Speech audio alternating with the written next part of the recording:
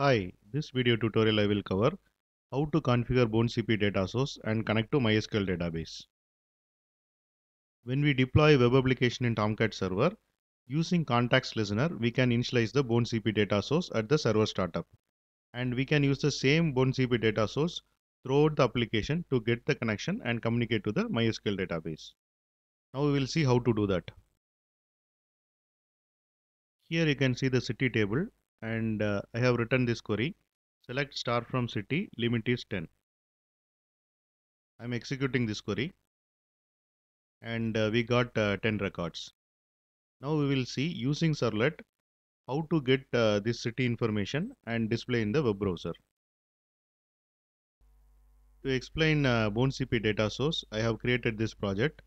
Inside lib folder I have placed uh, BoneCP jar and in web.xml I have configured uh, city info servlet and also I have configured uh, context listener.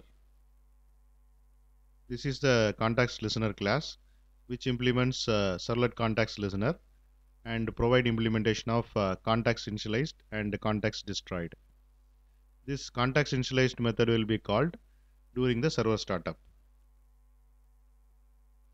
I will uh, deploy this uh, web application in Tomcat server.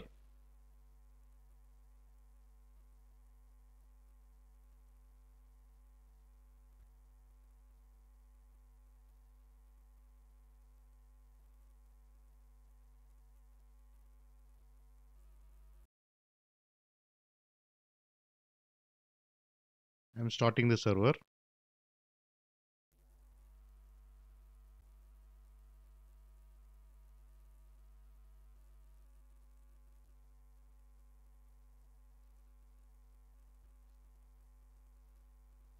Server has been started.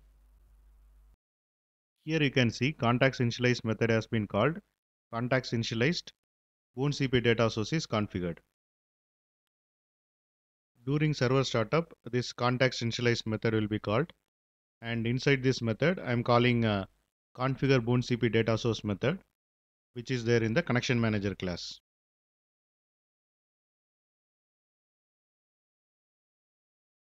In connection manager class, I have declared a BoneCP data source variable and I have defined uh, getter and setter methods for BoneCP data source variable.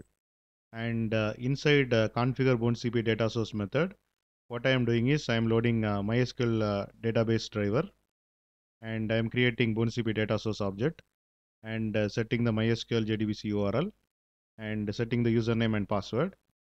And uh, once I configure BoneCP data source, I am calling uh, set BoneCP data source method and uh, setting the BoneCP data source variable. Throughout the application, we can call get BoneCP data source method to get the BoneCP data source object. And from this uh, BoneCP data source object, we can get the connection object and communicate to the MySQL database. This is the URL to access the web application. Before I access the web application, I will open uh, developer tools.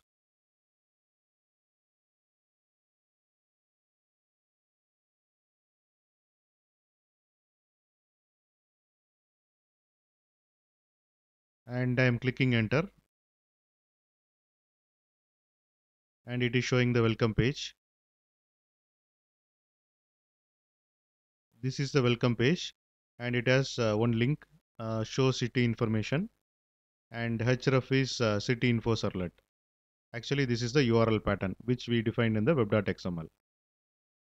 I am clicking on uh, show city information link. Uh, the request went to the server and the URL pattern is uh, city info servlet. So what server will do is it will forward the request to the servlet container. What servlet container will do is it will check this URL pattern is there in the web.xml or not. So the URL pattern uh, is there in the web.xml and configured servlet is city info servlet. So the servlet container will call init method of uh, city info servlet to initialize this servlet. And in init method, what we are doing is we are getting the BoneCP data source by calling get BoneCP data source uh, method of connection manager.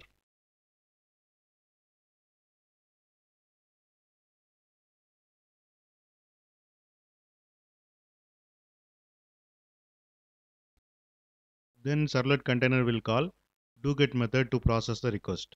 In doGet method, what we are doing is we are calling show city information method and passing the print writer object.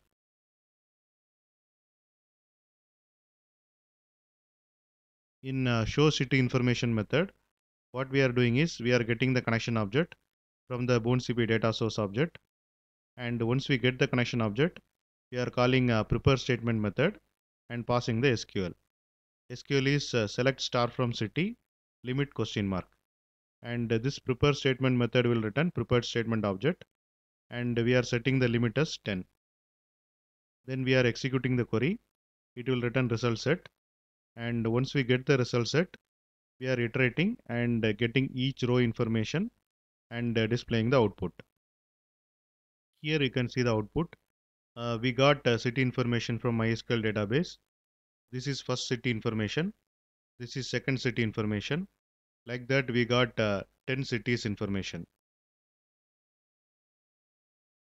And after that uh, we are closing result set, closing prepared statement and closing uh, connection object. Click on this link here you can see uh, general headers, response headers, and request headers. And click on response.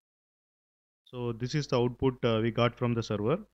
Basically server will return HTML and uh, this HTML will be interpreted by the browser and it will display like this.